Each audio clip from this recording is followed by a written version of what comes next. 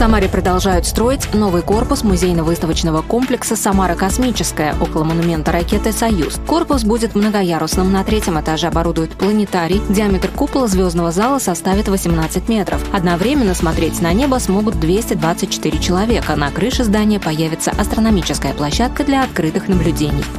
Самаре прошла творческая встреча с народным артистом России, художественным руководителем Московского губернского драматического театра Сергеем Безруковым. Задать вопросы актеру пришли более сотни студентов колледжей и вузов. Подробности встречи в ближайших выпусках программы «События» на телеканале «Самара ГИС».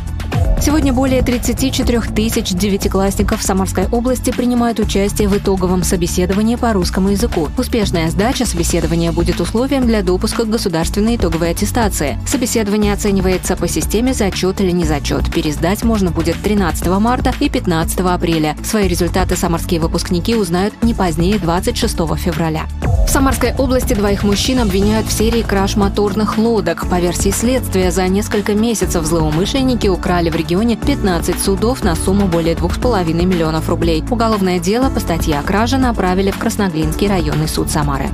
В России стартовал большой проект «Всей семьей». Он приурочен к объявленному президентом Году семьи и направлен на укрепление традиционных семейных ценностей среди россиян. Семьи-участницы должны раз в неделю выполнять несложные задания и выкладывать в соцсети фото с хэштегами «Всей семьей» и «Всей семьей 63». В конце марта состоится финальное награждение самых активных семей.